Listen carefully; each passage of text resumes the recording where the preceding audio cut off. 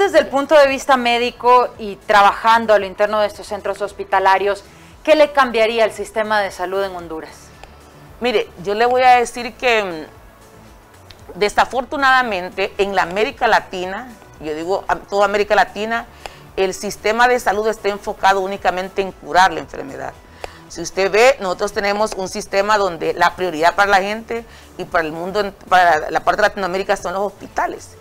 Y yo le voy a decir, y lo voy a decir con la experiencia que adquirí y también con el tema, lo que hemos podido aprender en nuestra formación académica.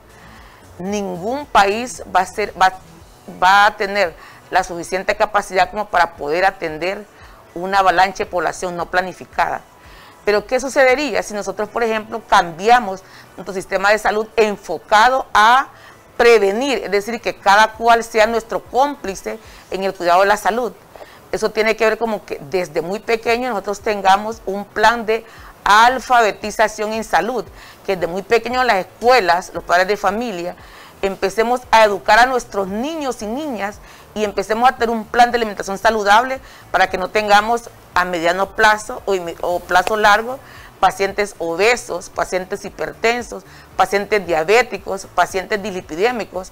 Si usted se fija, el 80% de la población que busca asistencia médica tiene enfermedades crónicas no transmisibles, enfermedades que son francamente prevenibles. ¿Cuál es el denominador común de todas estas enfermedades?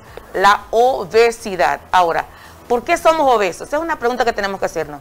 Bueno, porque consumimos, tenemos unos hábitos de alimentación que permiten que consumamos más energía de lo que realmente nosotros queremos. Es decir, comemos más pan, más comida chatarra, más refrescos embotellados, más comida rápida, más de todo ese montón de cosas que solamente ha venido a generar una otra pandemia, que en este caso es la obesidad. Entonces, ¿qué le cambiaría yo al sistema de salud?